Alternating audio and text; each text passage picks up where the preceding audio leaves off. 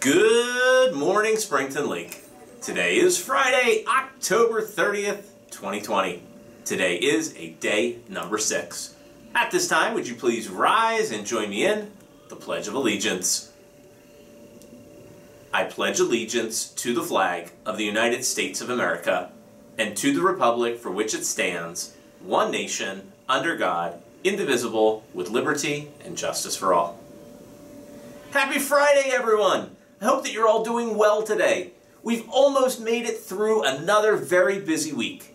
I hope that the week was productive and successful. So let's work hard today and let's finish the week on a strong positive note. The bulk of our map testing is now complete. If you need to make up or missed testing or need to finish a test, stay tuned for additional updates from Mrs. Newsom. Today, we're back to a normal schedule for the day.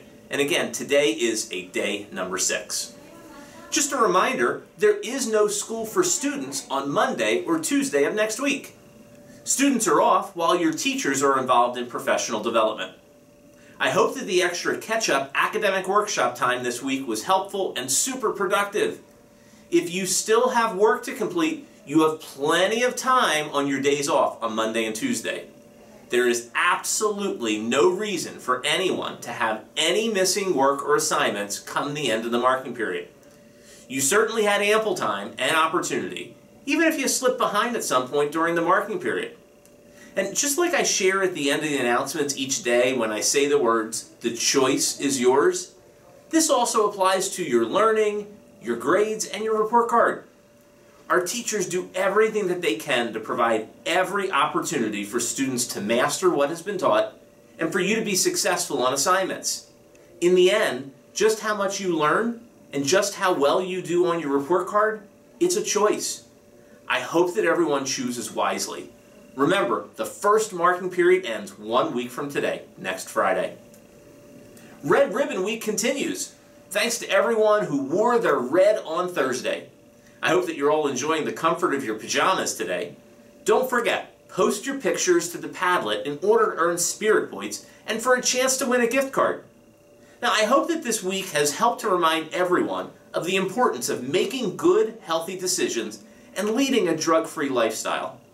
A special thank you to Mrs. McGow and Mrs. Debesai for their work to organize this week's activities. Now listen up for today's final Red Ribbon Week announcement. Happy Friday. We shared a meme today. Love that moment when you wake up and realize it's Friday. We also thought that it was very important that we end the week, Red Ribbon Week, with some tips that you can do all year long to stay healthy, to stay drug free, and to make good choices. So, here are some tips on how you can protect yourself from making poor life choices or being put in an uncomfortable, risky situation. Educate yourself Know the harms that vaping, smoking, drugs, and alcohol can have on your physical and mental health. Up to 90% of people with a substance abuse disorder began to use drugs, alcohol, or tobacco before the age of 18. Avoid people who vape, smoke, or use drugs and alcohol. People who do these things may try to influence you to do them too. Talk with your parents and other adults. Positive role models will be there to listen to you and help you through both good times and bad. Participate in activities. Get involved in school, your community, your church, or your home. Physical activities and social interactions will help keep you happy and healthy. Manage your stress. Take a break and do something that you like to do. Go for a walk, exercise, listen to music, meditate, or speak with someone about what is going on. And take care of yourself by eating healthy foods and getting enough sleep every night. Again, these are things that you can do all year long to keep yourself healthy. We really appreciate your participation this week in our Red Ribbon Week activities and encourage you to continue to make good choices as you move forward in life. Have a great weekend. A reminder that the Newspaper Club will be meeting next Thursday, November 5th, from 3 o'clock until 4 o'clock. Check with Mrs. Williams if you have any questions. Judging will take place later today in our family pumpkin decorating contest. We'll be sharing the names of the winners in my weekly email to parents and also in our morning announcements on Wednesday of next week. Be sure to check Schoology for a short survey that your school counselors have shared with you. We want some of your feedback about how things are going and about how you're feeling about school. So take a few minutes today to complete the survey and provide your input.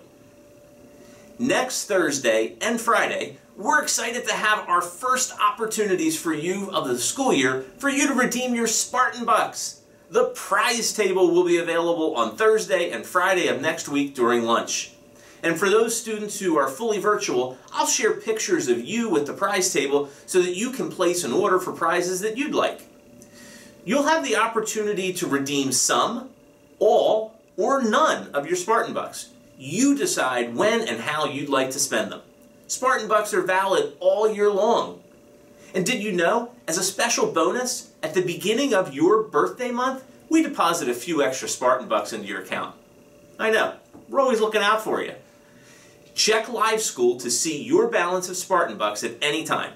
The login instructions for Live School were mailed home to everyone in September.